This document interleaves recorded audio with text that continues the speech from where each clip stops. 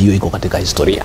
Namba 2 ningeuliza watu wetu wote, jamii zote Rift Valley wasiweke hii siasa inaendelea maanani, wakosanie amani. Ningetaka kuambia jamii zote, watu ya Mlima Kenya wako pale, watu ya Wakalenjin wako pale, watu ya Bukusu wako pale, watu ya Kisii wako pale.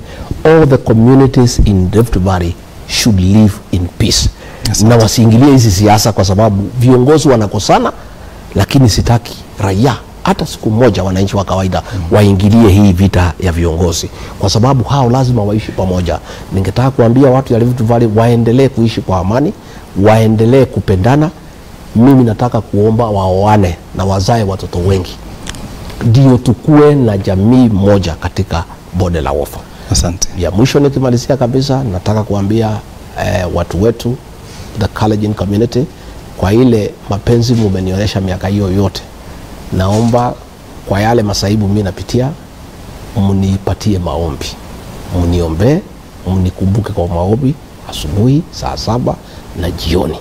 Na mimi najua kwa sababu nyinyi jamii ya Wakalenjin mnapenda Mwenyezi Mungu na mnaomba sana, mimi najua Mwenyezi Mungu atasikiza maombi yenu.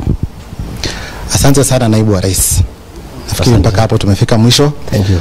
Sako yata chitab Kalenjin ko kakeilen nebo ng'alalet nebo agenge eng agenge nekakibun eng koskoleng'uni kokibotokei ak Deputy President Rigathi Gachagua eng meng'otenyi nemite komasta nebo Karen eng taonitab Nairobi kekas ka ng'alalet